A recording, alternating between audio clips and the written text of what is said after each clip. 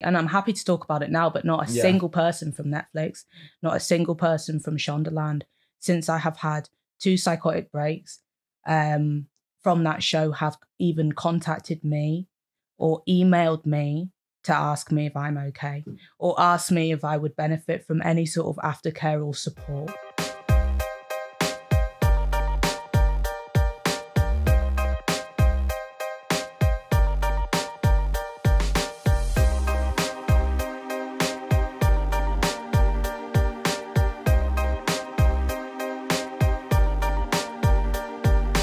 Well yeah i was getting on well during the film. I was deteriorating. But i mean it, it was it was a really tormenting place for me to be because my character was like you know very alienated very ostracized um on her own um under these horrible circumstances.